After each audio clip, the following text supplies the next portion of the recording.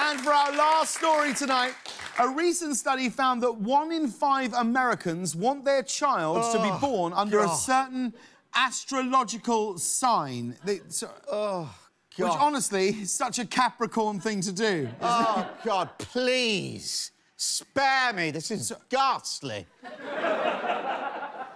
So, Louis, are you, are you OK? What's, what's happening? I, I don't know. I'm just finding this whole thing so banal. You know that while I was in France this summer, something dawned on me. OK. All you've done is go on about going to France on holiday. Look, we're in the middle of something important here. Can we just carry important? on? Important? I've never heard anything so trite. I mean, what's the point of all this, anyway? Well, the point... the point of all this is that it's 12.30 and we're trying to do a show.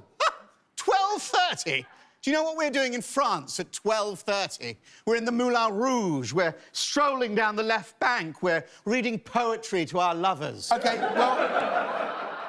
we can't do any of those things here, OK? Oh, God. You're so terribly bourgeois. Right, I'm sorry, Louis, Louis, you, you cannot smoke in here, OK? Fine, I'll extinguish this cigarette just like you've extinguished the Promethean flame of our creativity. What does that mean? This show's very creative. Is it? Is it really? I think so, yeah. We do a lot of creative things. Like what, exactly? It all feels so dreadfully pedestrian. You know, James, while I was in France this summer, looking at real art in the Louvre, I thought to myself, this show could be so much more vital, so much more alive. As the poet Arthur Rimbaud once said, Connaissez-vous le chemin de la guerre? Right, well, well I, I don't know what that means. Of okay? course you so... don't. Of course you don't. Look around you. You're drowning in a bouillabaisse of mediocrity. Right, this is, can I, this is getting quite rude. Oh, James, get used to it. I'm just telling you the truth. La vérité. What? OK, then. All right, uh, Emmanuel Macron, what do you, what do you suggest we mm. do? Free your mind. Let your inhibitions go. Have a glass of wine, for God's sake. You know, in France, even the babies drink wine.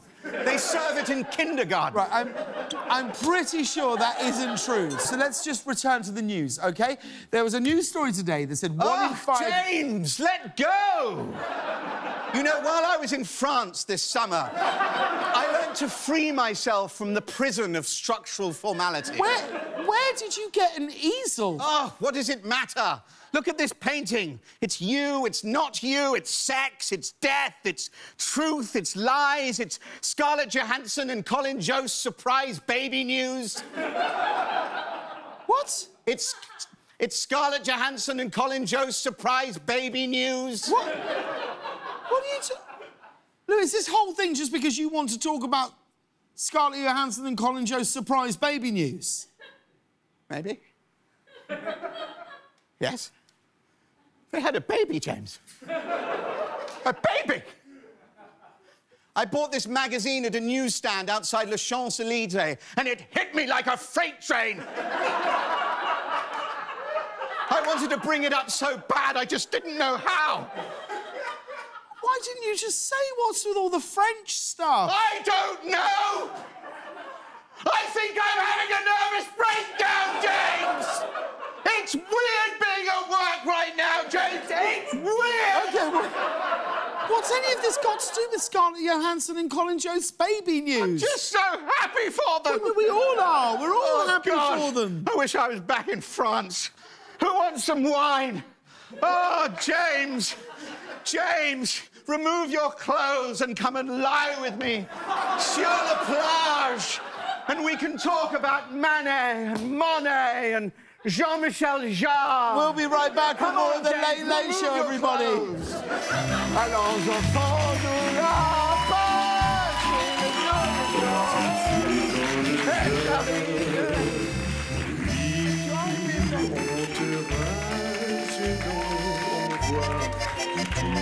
This